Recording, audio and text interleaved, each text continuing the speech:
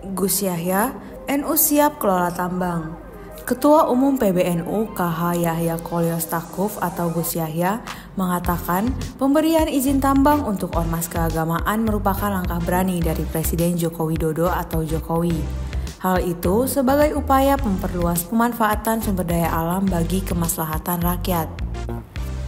Kebijakan ini merupakan langkah berani yang menjadi terobosan penting untuk memperluas pemanfaatan sumber daya, sumber daya alam yang dikuasai negara untuk kemaslahatan rakyat secara lebih langsung, kata Gus Yahya dalam keterangan tertulisnya pada Senin 4 Juni 2024.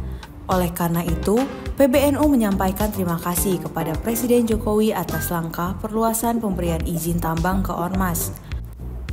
PBNU berterima kasih dengan apresiasi yang tinggi kepada Presiden Joko Widodo atas kebijakan afirmasinya untuk memberikan konsensi dan izin usaha pertambangan kepada ormas-ormas keagamaan, termasuk Nahlatul Ulama, kata Gus Yahya. Bagi Nahlatul Ulama, ini adalah tanggung jawab yang harus dilaksanakan dengan sebaik-baiknya agar sungguh-sungguh tercapai tujuan mulia dari kebijakan afirmasi itu. Nahlatul Ulama telah siap dengan sumber daya sumber daya manusia yang mumpuni, perangkat organisasional yang lengkap dan jaringan bisnis yang cukup kuat untuk melaksanakan tugas dan tanggung jawab tersebut. Terang Gus Yahya. Menurut dia, Nahlatul Ulama saat ini memiliki jaringan perangkat organisasi yang menjangkau hingga ke tingkat desa serta lembaga-lembaga layanan masyarakat di berbagai bidang yang mampu menjangkau masyarakat akar rumput di seluruh Indonesia. Itu semua akan menjadi saluran efektif untuk menghantarkan manfaat dari sumber daya ekonomi yang oleh pemerintah dimandatkan kepada Nahlatul Ulama untuk mengelolanya, kata pengasuh pesantren Raut Latut Talibin, Rembang, Jawa Tengah ini.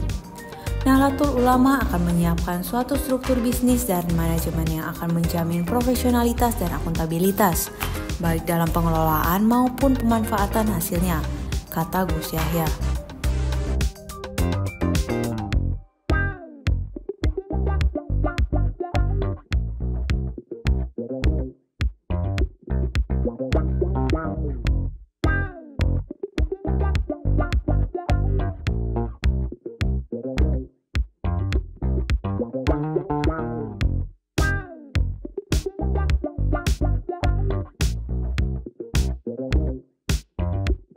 wow, wow, wow. wow.